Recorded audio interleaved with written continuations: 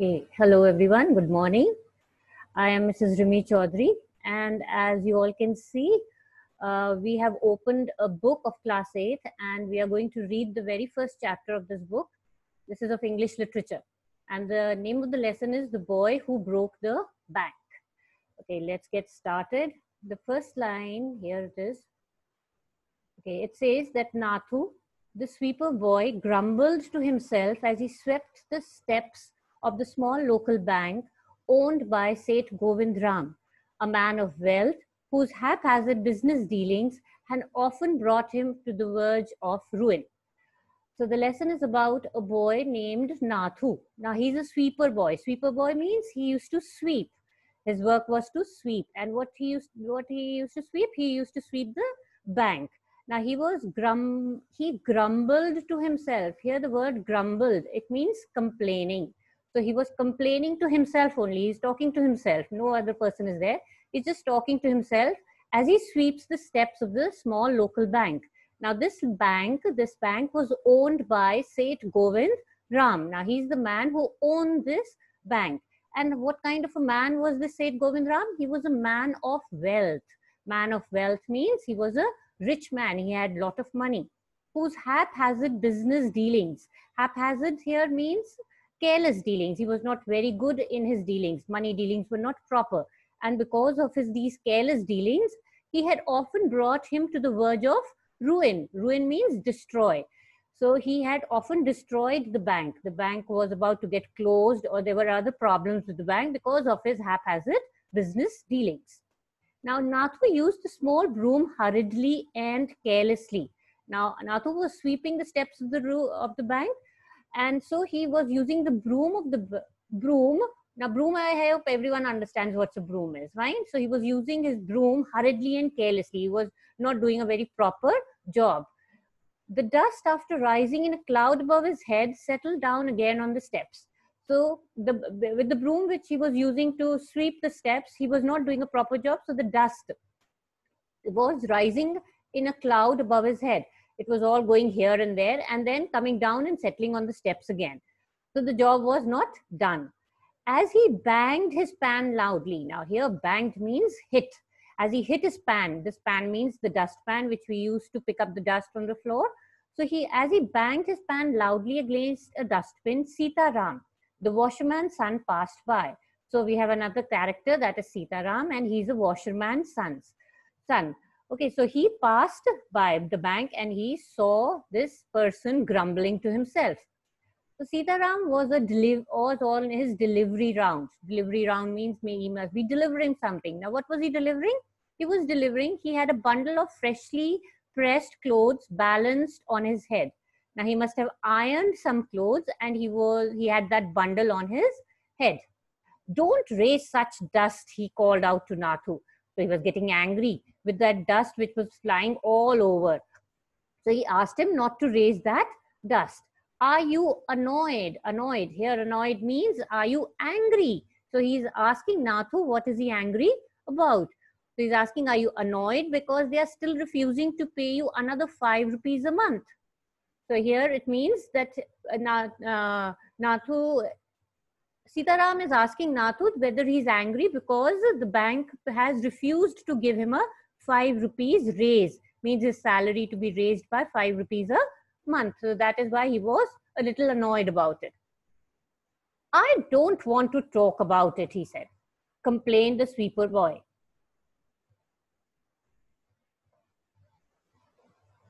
Okay, so he's, I don't want to talk about, he didn't want to talk about it. He said, I don't want to talk about it.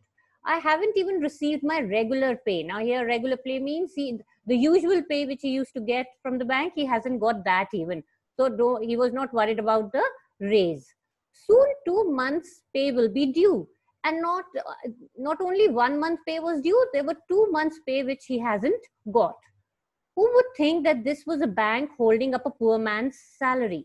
So he's asking his friend that look at it's a bank and still they are not able to pay a sweeper as soon as I get my money, I'm off. I'm off means I will leave the job. Not another week will I work in this play. And Nathu banged the pan against the dustbin several times. So he was angrier, more angrier as he was talking to the, the washerman's son. Well, I wish you luck, said Sitaram. I'll be on I'll be on the lookout for a new job for you. So Sitaram said, okay, fine. Don't, don't worry. I will see that if I get an, I can arrange a new job for you.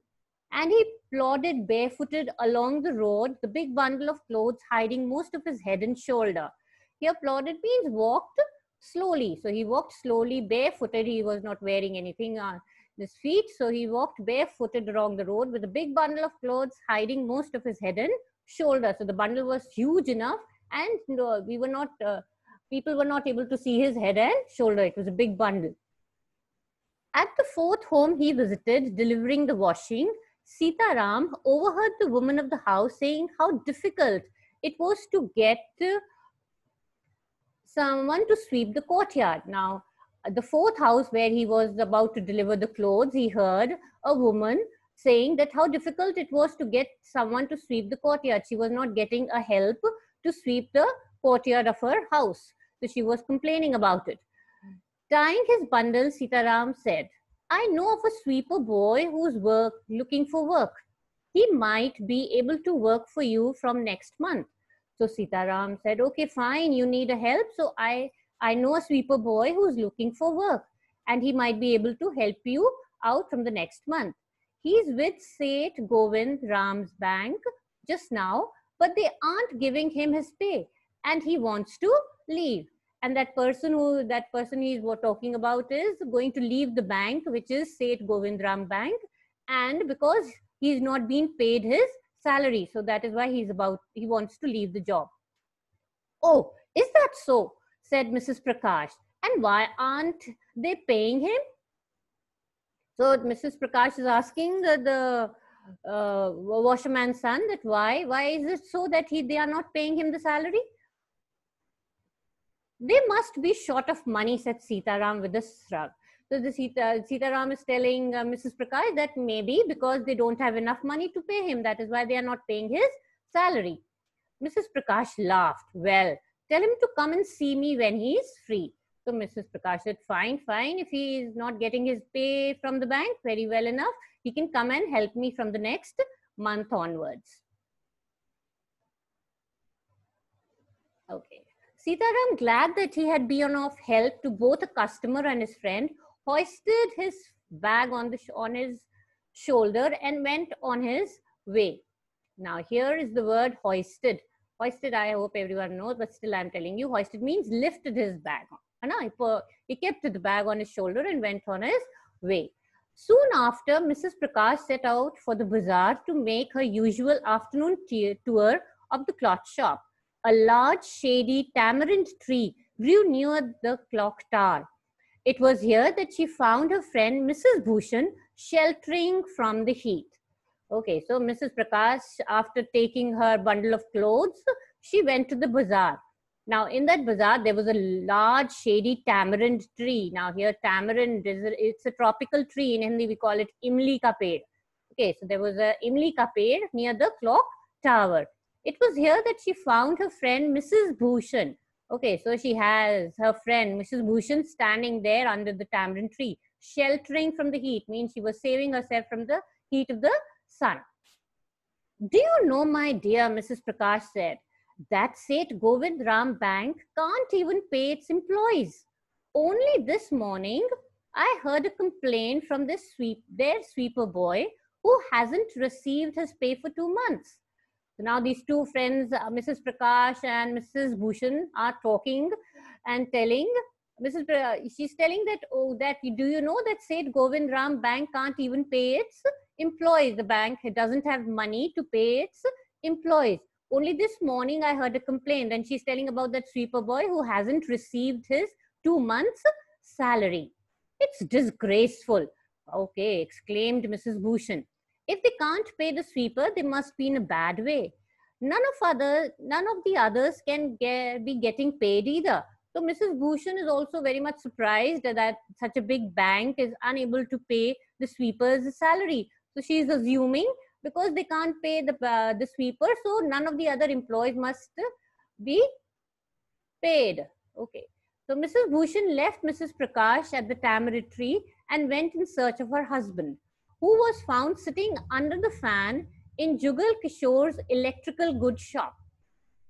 So now she goes and she finds her, tries to find her husband and she found her husband sitting under the fan in Jugal Kishore's electric goods shop, talking with the owner. So there you are, cries Mrs. Bhushan. She's getting angry because she, because she couldn't find him. And when she found him, she said, there you are. I've been looking for you for nearly an hour. I don't know where, what's happening to this town. Did you know the bank is going bankrupt? So uh, first she got angry with her husband and then she's telling him, do you know what is happening in this town? And uh, the husband must uh, give, must have given her a blank look. So she tells, did you know the bank is going bankrupt? Now here bankrupt means uh, having no money. Means the bank didn't have any money to give to her, to its employees. So she's assuming that the bank is going bankrupt. What did you say? said Jugal Kishore, sitting up suddenly. Which bank? Now, Mr. Jugal Kishore was in for a surprise. He was really shocked. What did you say? Which bank? He's, she, he's trying to inquire. What, what bank you said? Why? Seth Govind Ram's bank, of course. I hear they have stopped paying their employees. No salary for three months. Don't tell me you have an account with them, Mr. Kishore. So she again repeated, oh, the bank's name is Seth Govind Ram's bank. And uh, I hear they have stopped paying their employees. They haven't paid uh, for three months. Now here she has exaggerated. It had been two months. Now she's saying three months. Don't tell me you have an account with them, Mr. Kishore. Kishore. So she's asking Mr. Kishore, but don't tell me you have an account because they don't have many money to give it to its customers. No, but my customer, but my neighbors has, he said. And he called,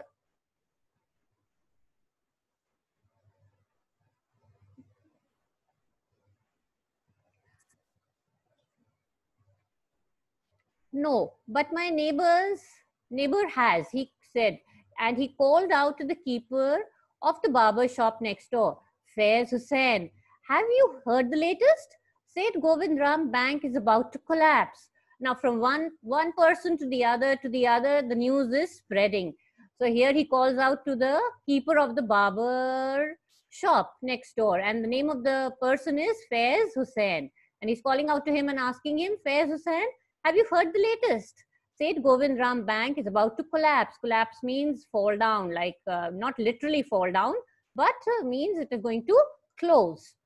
You didn't take your money out. You better take your money out while there's still time. So he's instructing his friend Faiz Hussain, if you have an account there, you better take out your money. Otherwise, otherwise you are not going to get the money. Okay. Faiz Hussain, who was cutting the hair of an elderly gentleman, was so startled that his hand shook and he nicked his customer's right ear. Now, this Faiz Hussain was again, he got so surprised or uh, that he, he was cutting the hair of an elderly gentleman and was so startled. Startled means all of a sudden when you say something, now you get uh, startled. So the, his hand shook and he nicked his customer's right ear. Here, nick means making a small cut. थोड़ा सा cut गया this customer's right ear the customer yelped. Yelp means screamed with pain and distress unhappiness where you go you got he got cut so he just screamed with pain and distress. Pain because of the cut. He was uh, experiencing pain because he had uh, got cut himself and distress because of the awful news he had just heard. Here awful means terrible. So he was unhappy because he heard this terrible news that the, the, the bank is going to collapse. With one side of his neck still unshorn. Unshorn means half shaved. Means one side was only shaved, the other side was still uh, still to be shaved. So with one side of his neck still unshorn, he leaped out of his chair, leaped out and jumped out of his chair and sped across the road. Sped means to it is a it is a form of speed actually. Past tense of speed is sped across the road to a general store where there was a telephone. He dialed Seth Govind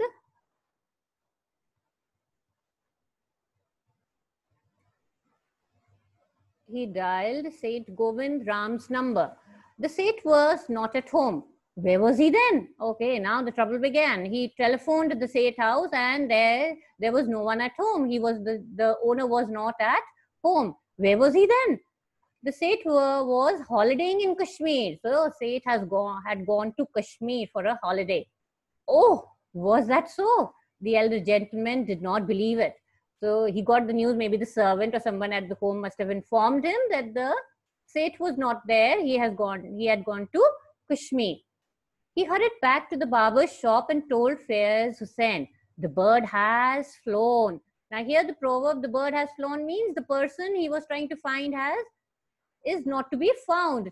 Chidiya उड़ gayi, मतलब literally chidiya नहीं उड़ gayi. it was it was meant for the Seth that this the Seth has the owner has gone and he has fled actually.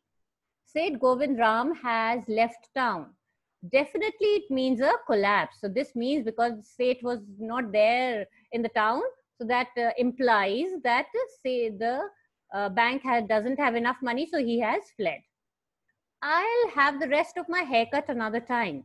And then he dashed out of the shop, making a beeline for his office, for his office and checkbook. So he didn't want to have the rest of the haircut. He just dashed out of the out of the shop. Dash means rushed out of the shop, making a beeline. Making a beeline means went straight without any uh, stoppage here and there. He went straight to his office and got his checkbook. The news spread through the bazaar with the rapidity of a forest fire. Now, this news that the bank doesn't have enough money and it is going bankrupt spread like wildfire. From the general store, it traveled to the tea shop, circulated among the customers, and then spread with them in various directions to the pan sellers, the tailors, the fruit vendors, the jewelers, and the beggars sitting on the pavement. So this news got circulated. Circulated means spread. No? Circulated among everyone, whether it was the pan seller, the tailor, the fruit vendors, the people selling fruits, jewelers, beggars, so everyone knew, everyone heard or assumed that the bank is going to close. It, it doesn't have enough money. Men stood in groups at street corners discussing the situation. The, town, the small town in the foothills seldom had a crisis. Seldom means very, uh, very, uh, not very often. So the, uh, the small town in the foothills seldom had had crisis and never had floods, earthquake, or drought. I hope you all understand these three words. So the small town in the foothills seldom had a crisis. Crisis, crisis means koi koi parishani nahi thi. Na, they were all at peace. And so the imminent crash of the local bank set everyone talking and speculating and rushing about in a frenzy. So this crash, this imminent crash means which was about to happen or which has had happened, uh, that the local bank didn't have any money, set everyone talking. Everyone started talking and assuming and started rushing towards the bank if they had an account in it. Okay, some boasted of their far-sightedness. Far-sightedness means the ability to see in the future. So some boasted, some started saying, see, we knew this is going to happen and congratulating themselves on having already taken out their money. So they were very happy that they had uh, thought about it before only and taken out the money. Or on never having put any in put any in the, or they didn't choose that bank to put their money. They knew already they knew that this bank is not going to give them their money back others speculated on the reason for the crash. Others speculated means others as you started thinking okay what is the reason for the crash? There must be this this must be this. Putting it all down to Seth Govind Ram pleasure loving ways. So uh, the, they were assuming that this uh, shortage of money or the bank being closed is because of the Seth Govind Ram pleasure-loving ways. Now, pleasure-loving ways uh, means uh, that he was not very, um, he didn't uh, think much about before spending money or how to spend money wisely. He used to spend it on irrelevant things. So they assumed that because of his pleasure-loving ways, spending so much money here and there without thinking, the bank ha has lost all the money. The state had fled the state, said one. The, the other said that he must have fled the state, he must have gone to another place because he, he, he didn't have money to give it to us. He had fled the country, said the other. The other said, okay, he must have fled the country only. Others insisted that he was hiding somewhere in the town. The others said, maybe he's hiding somewhere here only, just not answering our phone calls. He's just afraid. Someone who had a relative working as a clerk in the bank decided to call him and get the facts. Now, someone in the crowd said, Oh, oh, I remember I have a relative working as a clerk in the bank. I'll call him and get the facts. Get the facts means I will ask him what is the truth. I don't know anything about it, said the clerk. When the clerk picked up the phone, he said, Ah, what? I don't know anything about it, except that half of the town is here trying to take their money out. He said, I don't know anything about the bank going bankrupt, but the only thing I can tell is that half of the town half of the people of the town are here standing in queue and want to take out their money. Everyone seemed to have gone mad. Everything has, everyone seemed to have gone mad means he is just finding it funny that everyone wants the money on the same day. There's a rumor that none of, uh, none of you has been paid. Now, this person who was ringing that clerk said, okay, there is a rumor in the town that none of you have been paid. You haven't got your pays this month well, the clerk have had their salary. We won't be working otherwise. The clerk said, no, no, no, no nonsense, nothing like that. We all have got our salaries. Otherwise, we won't be working. We won't be working here. We will be sitting at home.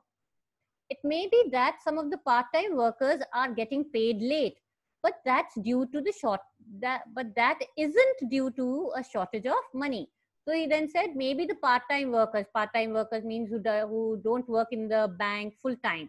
They're just there for funds for some hours only. So he said maybe the part-time workers uh, are not being getting paid and this isn't due to the shortage of money. It's just that the clerk who looks after their payment is on a sick leave.